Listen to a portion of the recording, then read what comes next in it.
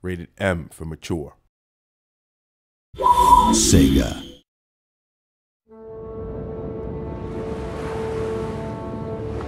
I remember a time when we were not at endless war.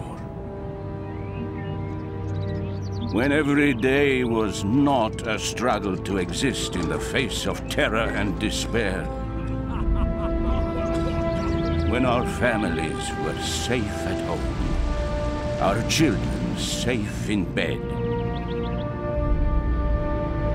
On the eve of Ragnarok, Hel called forth this storm of evil. And so we swore fealty to Skarin.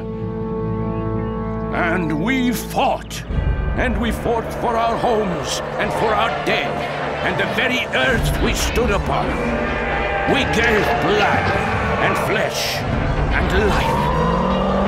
And now we stand at the gates of Hel's citadel. He is here.